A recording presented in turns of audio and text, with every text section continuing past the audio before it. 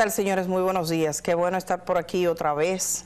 Quiero dar un saludo afectuoso, muy contenta de poder acompañarles de nuevo. Después de casi dos semanas, o de casi no, de dos semanas de ausencia eh, por eh, aquejada del COVID-19. Me dio duro esta vez, más duro que la primera. La primera vez todavía uno no se ve vacunado.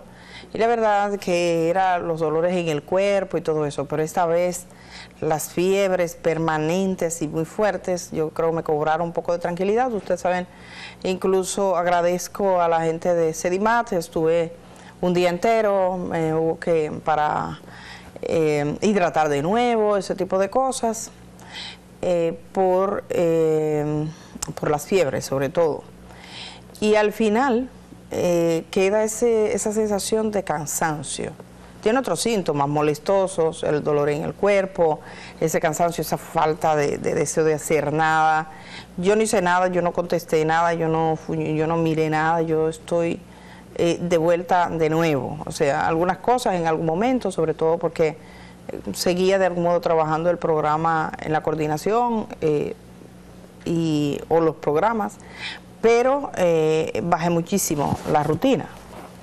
Y quiero agradecer al equipo que ha trabajado acá, sobre todo quiero agradecer a Ogla, a la periodista Oglenecia, que ha estado durante todos estos días acompañándoles y que yo sé que no, que no hubo falta, o sea, tengo una tranquilidad en el alma y en el cuerpo. Cuando Ogla está aquí, uno puede estar tranquila, eh, porque es alguien competente, capaz, es una periodista 100%, así que yo le agradezco muchísimo a Ogla que estuvo acá y, María Teresa que siempre está en la producción pues que le acompañó y esos son momentos claves ¿no? para salir adelante.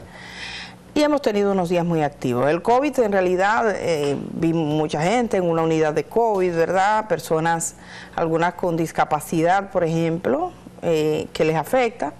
Es bueno estar vacunado, no, no, no deja que te, que te vayas eh, mal, pero dura sus dos semanas casi ausente. hay gente que lo que es menos, hay gente que ocho días, siete días ya se acabó. Eh, en mi caso se extendió un poquito. Y todavía me queda ese reflejo de como de que estoy aquí, pero no soy yo, que hay una bachata que dice así. Bueno, estoy aquí, pero soy media yo. Sí, bien, pero esa energía, esa fuerza se va recuperando en el camino. Y evidentemente durante estos días han pasado cosas trascendentes. Yo creo que una de las más relevantes fue la publicación, la divulgación que hay entre los medios de comunicación de la acusación eh, del caso Medusa, que es el caso que involucra al ex procurador general de la República y a una serie de personas involucradas en muy diversos delitos, porque ahí hay una lista de delitos, desde lavado de activos, falsificación de, de documentos, asociación de malhechores, eh, hasta todo el tipo de entramada, algunas cosas que incluso no calificarían como delito, pero que dejan una sensación de que usted acudió a una institución que se descalabró, o sea, que la descalabraron. Yo creo que ese, ese documento, que es importante, es un documento que sirve como de base para que la sociedad dominicana siga reflexionando. Yo recuerdo hace mucho tiempo, hará quizás 10 años, que un sacerdote me llamó un día y me dijo, mira, Febles, yo quiero hablar contigo. Y me dice, mira, ¿por qué en República Dominicana la corrupción no es una preocupación? Y tú te quedas así, dice, mira, si tú pones a ver, eh, y de hecho lo dicen los estudios, eh, aquí se han hecho estudios continuados, eh, por ejemplo, la encuesta de las Américas que analiza varios países, cuáles eran las preocupaciones de aquí. Siempre ha sido el tema de la seguridad, por ejemplo, a la gente le preocupa que le roben en la calle, pero robo famélico, el tema del costo de la vida, tema de la educación, que fue vital, e incluso el tema del medio ambiente nos llegó primero. Nosotros aquí se caminó por la Loma de los Haitises o se caminó por Loma Miranda, por los Haitises y por Loma Miranda, se caminó en la calle. Aquí se luchó por el 4%. No hay una cosa más maravillosa que pensar en lo que fue esa movilización popular en torno al color amarillo todo el mundo se vistió de amarillo, salían las fotografías de las empresas, de los lugares de trabajo, incluso del gobierno. Era una simpatía por el 4%, diciendo nosotros queremos 4% para la educación y se obtuvo. Y yo debo decir que las cosas más trascendentes de este país se han logrado en los últimos tiempos a golpe de calle. Que se quedaran los haitises tranquilos fue golpe de calle. Que Loma Miranda no fuera explotada por una compañía minera fue a golpe de calle y que el 4% sea una realidad en nuestro país fue golpe de calle. No podía ser menos con la corrupción. Y eh, yo creo que el punto de inflexión con la corrupción fue el caso de Brett. República Dominicana salió en todo el continente como el país que iba a la delantera del caso de Brett. Somos el país donde Odebrecht, buscando un refugio, buscando una cueva, buscando el lugar más inhóspito donde ellos pudieran trabajar, inhóspito de leyes, inhóspito de vergüenza, inhóspito de dignidad, porque es todo eso, ¿no? Donde ellos pudieran trabajar, dieron no, pero nuestro lugar es República Dominicana. Sabe que de toda América Latina, no se fueron a una pequeñita isla por allá que usted no sabe el nombre, no se fueron a un país de Sudamérica que le haga frontera, no se fueron a Centroamérica, no se fueron allá arriba, no vinieron al Caribe y vinieron no a cualquier isla del Caribe, vinieron a la nuestra, a nuestro país. Y aquí nos trajeron el departamento dedicado al fraude, el departamento donde se configuró la mayor estafa de una multinacional como Debret que quebró. Y cuando eso salió a la luz, la gente se fue como indignando. Yo creo que aquí en los últimos años hay una conciencia ciudadana de que la corrupción nos roba lo nuestro. La gente no asociaba corrupción, el político cogió, ah no, ese usted, ¿cuántos de ustedes vieron generales teniendo propiedades que no guardan consonancia, no guardan relación con el salario que ganan? ¿Cuántos hemos visto un político que sabemos que nació allí, que es hijo de esa fulana, que es que yo cuánto, y de prenseo, y que de repente usted ve que está rico? ¿Cómo fue que nos acostumbramos a que los políticos podían andar regalando tierra, regalando casas, regalando dinero y ellos eran como que se habían sacado un dinero que le llegó del cielo? Nadie que suda el dinero lo regala. La gente que suda el dinero, que acumula, incluso las familias más ricas, eh, tienen cuidado con el dinero cuando es un dinero de generación. Son cautos la gente que hace mucho apavientosa, como dice la gente, con el dinero, eh, son los nuevos ricos, los que consiguieron el dinero así.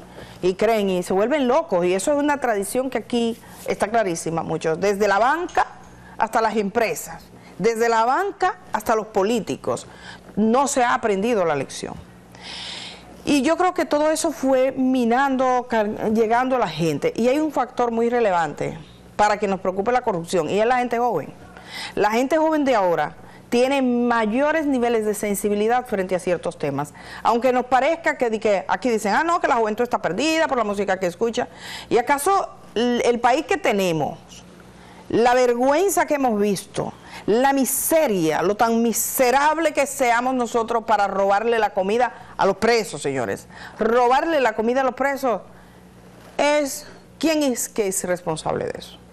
¿Quiénes son los responsables? Los partidos nuestros están dirigidos por los más viejos de los partidos. El PLD, usted coge el que olvide político del PLD y usted le suma la edad. Son gente vieja toda.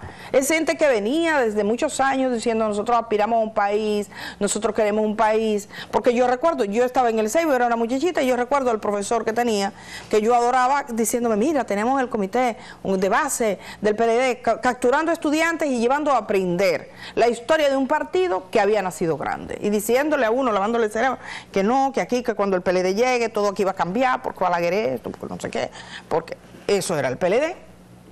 Entonces yo no puedo entender, no puedo entender qué, fue, cuál fue esa degeneración que existió, que haya gente incluso ahora que esté conforme con eso, que sean parte de un partido, de una estructura que fue la gran responsable de eso que ahí ocurrió, porque aquí se alertó muchas veces.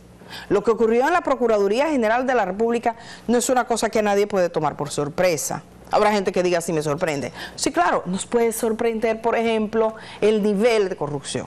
Nadie pensaba, por ejemplo, que un procurador general de la República andaba pidiéndole tierras a un hombre que tenía su, su, tierra tomada en, Peravia, creo que fue, que lo dice el expediente, y va y busca ayuda donde un amigo suyo, apellido, de uno de estos apellidos conocidos. Y le dice, mira, yo tengo una tierra, está ocupada por unos delincuentes o por unos de esa gente que anda ocupando tierra y no me hacen caso, ni el abogado del Estado, ni nada. dice, ah, no, no te preocupes. Y el ratico viene con una propuesta. Si tú le das unas tierras al procurador, te resolvemos el problema. Y el tipo sacó un trozo de tierra, se lo pasa, y según el expediente de la oficina de abogados, le hace un pago de un millón de pesos, un poco de tierra para él, y eso, eso es algo como que tú en la cabeza dices, no, eso no es posible. o que el dinero se manejara en bultos, que llegaran los bultos a la Procuraduría General de la República y que se viera el manejo del dinero para pagar casos, para pagar sobornos, para las, las empresas pagando. O que un ingeniero le dijeran, oye, yo te fabrico un expedientico, o a otro yo te fabrico un expediente. Entonces aquí se llegó a unos niveles, cuando tú te lees eso, que es de vergüenza. Y hay gente que le preocupa que se sepa, no le preocupa lo que pasó, no le preocupa lo que pasó. Le preocupa que se sepa, le preocupa que se hable de eso. Yo me sorprendo de encontrar gente diciendo, no, pero ¿y cómo están hablando tanto de eso? Porque eso hay que hablarlo, ¿dónde? Escondido. No, porque esos son los tribunales. todo el tiempo aquí se han presentado los casos. Una cosa distinta es que usted tome los casos y usted tenga la conciencia de que es un proceso judicial. Pero en una época como esta, nada se envuelve en trapo, ese tipo de bajo no se envuelve. Hay cosas que hieden y usted coge un trapo y le envuelve, le envuelve, le envuelve. Y usted cree que no va a hieder por eso pues haga la prueba, mire a ver si su fetidez la pueden volver a entrar, dicen los campesinos que no se puede. No hay ninguna posibilidad. Entonces, ¿por qué discutir, decir, ah, no, porque mira cómo se habló, ay, porque es gente que no le interesa que usted sepa. El problema aquí es que durante mucho tiempo, y en eso, por eso la Procuraduría General de la República de Jean Alain Rodríguez utilizó la base de las redes sociales, utilizó comunicadores, utilizó personas especializadas para acallar voces. Pero cuando quieren ocultar la voz de alguien, cuando dicen, ah, no, eh, Edith está dando una noticia de que recibió de la Embajada de Estados Unidos, y esa noticia es falsa, la que está dando Edith. Oye, con la Embajada ahí, que lo aclaro luego, porque una locura, de locura. ¿Le preocupa a ellos que yo dé la noticia? No, la preocupación es que usted se entere, que la gente se entere. Entonces es muy importante que esta sociedad se entere. Es muy importante. Es muy importante que esos muchachos jóvenes que yo digo que son la posibilidad de un real cambio en nuestro país, los estudiantes, las personas jóvenes, las personas que están creciendo sobre una cultura de trabajo, entiendan que aquí hay que crecer con méritos propios, que no puede ser, que no puede ser que la gente más joven tenga que andar lambiéndole a un funcionario, literalmente hablando y diciendo, ay, usted sí es lindo, al procurador, usted sí es bello, usted no ahí detrás y unean y tal, y a eso y está robando, guardar silencio, te dan una nota, publica esto y tú la publiques, no importa que insulte al padre del amigo tuyo como pasó con la joven que andaba pregonando en las redes sociales mentiras contra Uchilora contra Uchi Lora y era amiga de su hijo. Y tú dices, pero ¿y qué? ¿Cómo, le cabe en la cabeza a alguien? O sea, yo soy amiga de alguien y me dice, no, yo te pago un dinero y, con la misma estoy contra el papá. A mí siempre, siempre, siempre, en toda la historia, por ejemplo, de las dictaduras, que me las he leído en la medida de lo posible todas, de aquí, de Cuba, lo que pasó en Argentina, lo que pasó en Chile, lo que pasó en Colombia, los procesos históricos de nuestros países que tienen mucho siempre en común. Los procesos históricos nuestros, nosotros somos un continente que está atravesado por una historia común. Desde el momento en que llegan aquí los españoles, después que interviene África y todo lo que vino acá y todo lo que pasó y que se involucraron eh, los franceses y demás, desde ese momento hasta la vida democrática de nuestros países. Si ustedes buscan el derecho al voto de la mujer en nuestros países, fue más o menos parecido, cinco años más, cinco años menos, pero en materia de historia cinco años es una coma. Encontramos que todos los procesos son parecidos, dictadores aquí, dictadores allá, eh, un dictador eh, en, en Cuba, un dictador en República Dominicana, así, amigos. Siempre, siempre, siempre en esa historia me ha llamado la atención la gente que se pone al servicio de lo peor. La gente que está dispuesta, como lo estuvieron entonces aquí en República Dominicana, un grupo de hombres que trabajando para el Estado le dieron la orden de matar a las hermanas Mirabal y fueron y la mataron.